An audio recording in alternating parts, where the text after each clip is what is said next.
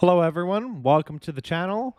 So today we'll be using the full self-driving beta version 11.3.6. And this is going to be my first time actually experiencing the full self-driving in a longer drive. I did use it for about three minutes beforehand, um, but I never really dove into it. And now this is me experience it just full on, face first. And you can see here I was struggling with getting it into the full self-driving. I thought that you could just do it from if you were parked and it would just take you to your location because it would attempt to get out of the parking lot that you're in. But of course I had to drive a little bit for it to actually activate eventually. So what I'll do now is I'll stay quiet and let you watch the ride and if anything interesting comes up, I'll go ahead and describe what is going on. So this is going to be my first right-hand turn um, in full self-driving. I was worried about what may happen, but luckily this was a very easy um, case for the software to be able to analyze whether or not I'm able to actually merge into the lane here.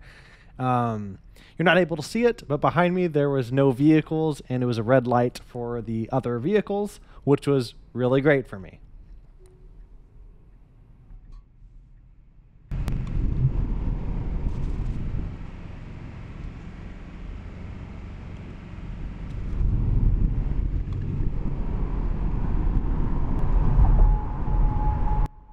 So I'm about to take a left into the lane next to me, and what I really love about the visualization is it helps me anticipate what's going to happen. As you can see, that lane was shaded blue, signaling that the software was going to try to merge into that lane, which is really great for the user experience overall.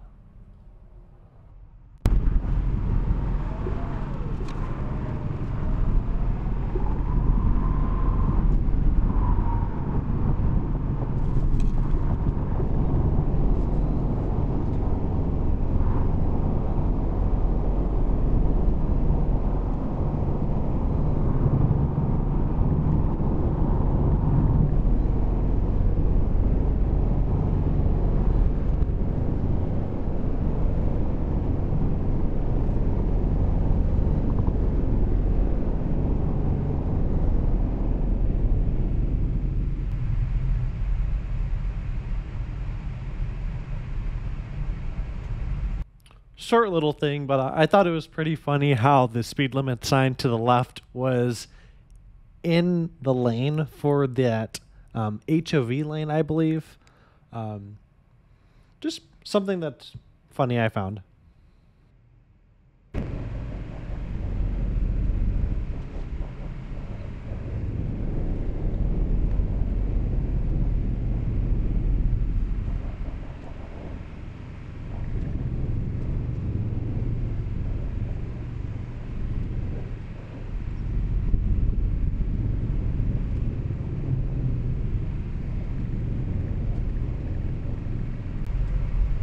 So this was something that was a little interesting to see. So the full self-driving software can see that the lane to my right is empty and I need to exit through that lane. But for some reason, it wouldn't actually merge to the lane to my right, so I have to wait in this current lane for quite some time. Um, it does bring up some non-dangerous risks of not being able to exit just in case there's a lot of vehicles at the very end. And finally, as you can see, it finally does merge and everything was great after that.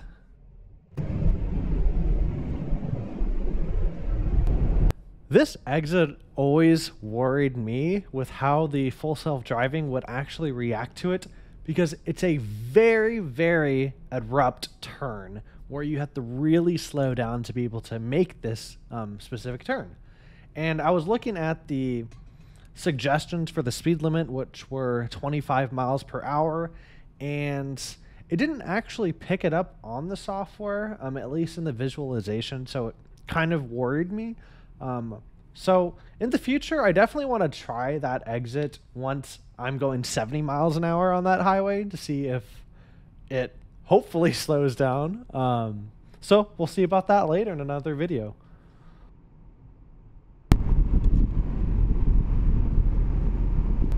So coming up is some quite narrow lanes and this section always freaked me out when just traveling like normal without full self-driving or anything.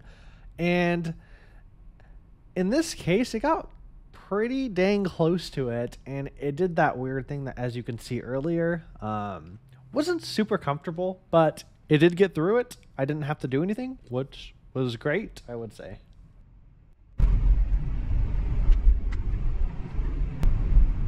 So here comes a very uncomfortable situation. So usually this area is very high traffic and luckily it wasn't so high traffic in terms of pedestrians, but later on there are going to be two people who approach to the right to try to cross across um, the street that we see ahead of us. But sometimes people can cross on the crosswalk that I am on. And as you can see, I'm right directly in the center of that crosswalk, which doesn't allow people to cross it, right? Um, so, very uncomfortable moment. I hope that I was able to actually take the right turn on this red light, but I don't believe it actually ever did. So, I hope they're able to fix this in the future or at least not approach so far up to where it's blocking the entire crosswalk as you can see on that visualization.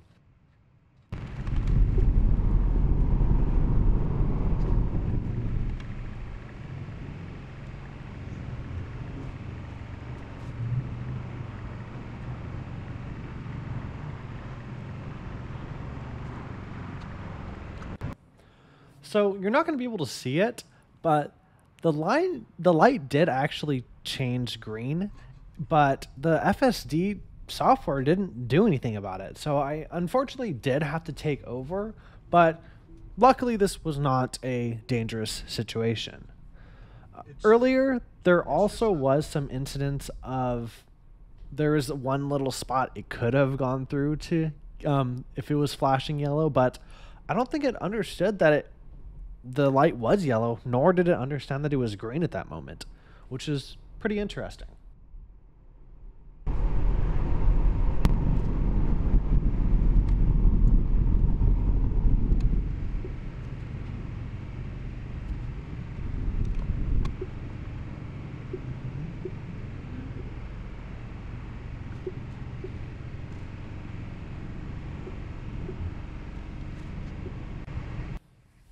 So something I really did wish it, it did earlier with the software was go into the left lane.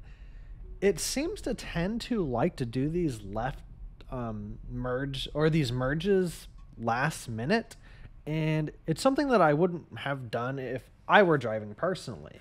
I would have merged way back earlier, knowing that I'm going to have to turn into the um, to the left eventually, so I should get into this lane instead of doing it last minute like this, which can cause some annoyance with other drivers, especially if you're trying to really get in the lane. We were able to be lucky there since nothing did happen, but I hope the software is able to anticipate what lane it does need to be in better in the future.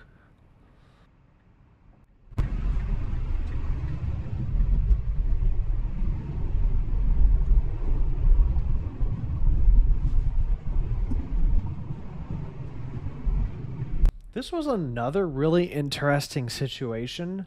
So I'm at the destination, which is that fountain right up there, but there was no traffic here and it was creeping forward very weirdly and it stopped right in the middle there. So I did have to disengage just because there was a mother with her baby behind me and they were in the stroller as pedestrians and I didn't want anything to happen, so I decided to just keep moving forward with that.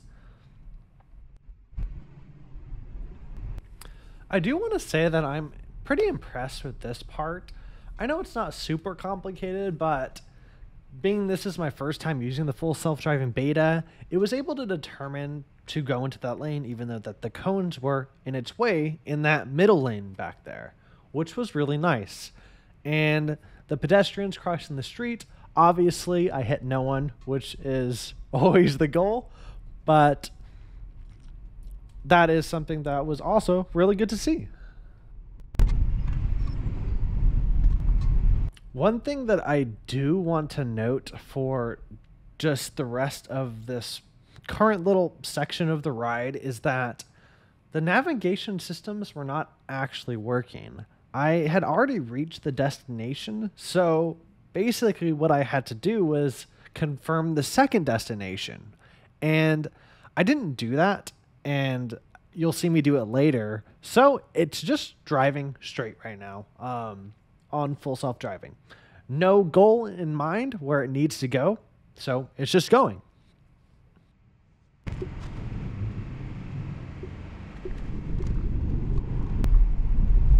So, coming up ahead is the first most significant portion of this drive. So, as you can see, there's this van stopped in front of me.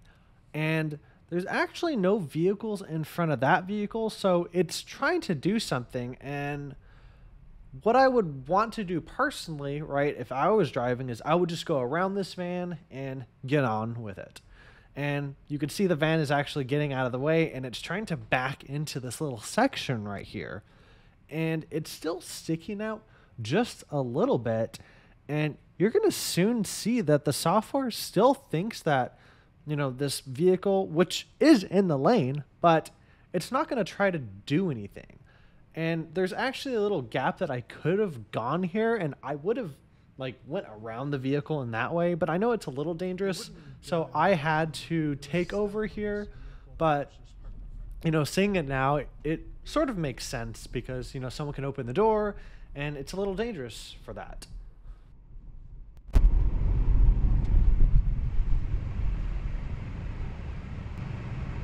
So this is where something dangerous actually um, happens. I realized that the navigation wasn't actually working because I didn't restart it or start the navigation after I got to the first destination. So I restarted it, and now it shows that it should turn right on this lane, right? Which it should do, but obviously you don't want to do that. Um, so as we, when we wait till the light turns green, you'll see what the software um, tries to do.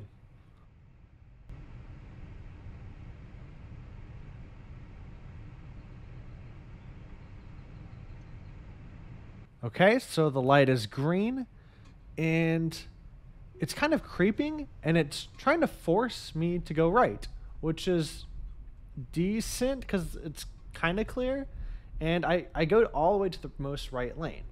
But then it has to turn right, right at this little intersection up here, and it just stops randomly, and it starts to go into the bus, and then someone honks at me, and it was pretty crazy. So I took over here. Um, again, this was definitely a dangerous situation because it was just such an abrupt braking. And it did it again here. It wanted to turn right in front of the bus, but I didn't want to do that. This was something I did not want to happen. Something extremely, extremely dangerous, especially for someone that you know has full self-driving on and isn't very familiar with it, especially like myself. But other people might have not done that. Um, so this is something that they definitely need to fix. Like the software really needs to have patience with this sort of thing.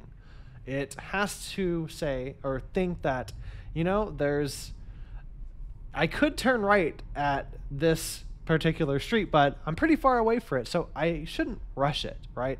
It needs to take its time. It needs to prioritize safety, and I hope in the future versions that we are able to see that because that was unacceptable. So this was another moment. As you can see, there's a biker to the right who is coming towards the intersection pretty fast.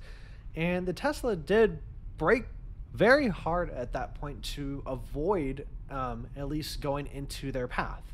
It was already at the moment where it was going to pass it, so I think it may have best just to keep going, But it it was really great that the software was able to see that and foreshadow the potential that there could be an accident.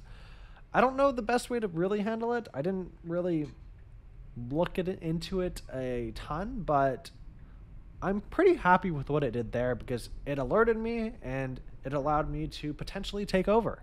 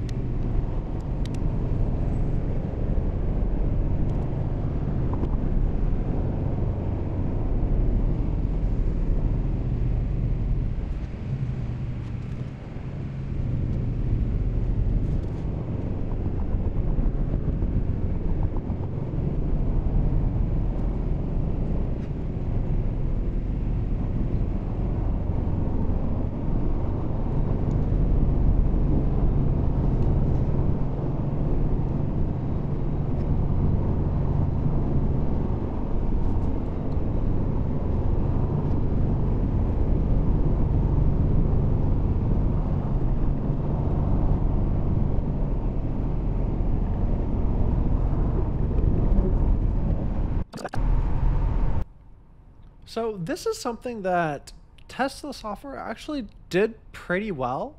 Um, this tends to be a very quick right lane change to get into the rightmost lane, and it did a good job at that, I would say.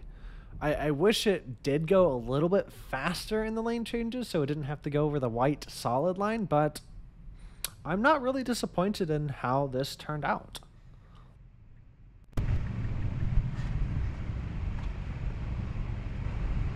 So, aside from that awkward stop that you saw before, this intersection was a pretty major issue.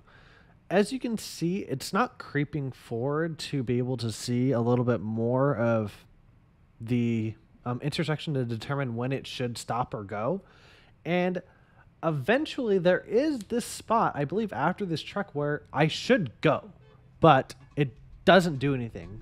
So I had to take over here, unfortunately, to make it go. And I wish it was able to creep forward overall to be able to see when it was my turn, but it didn't do that. And that would be the solution to this, right?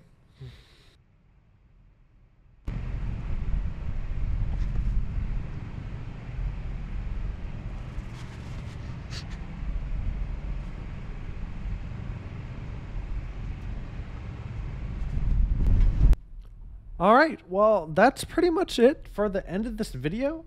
I believe there is a total of four um, disengage, which isn't great, but it's lower than I would expect. There was a couple very dangerous disengage that I had to do, which I wish I didn't need to, and I hope that other people don't have to do that as well. But overall, I would say this was a decent first time of testing the full self-driving beta. I enjoyed it, and I do plan to do a lot more videos in the future of how this process works and seeing how full self-driving improves with everything that they release with all the new software updates. So excited to be able to do this, and I hope y'all enjoyed this video, and please subscribe and come back next time. See y'all later.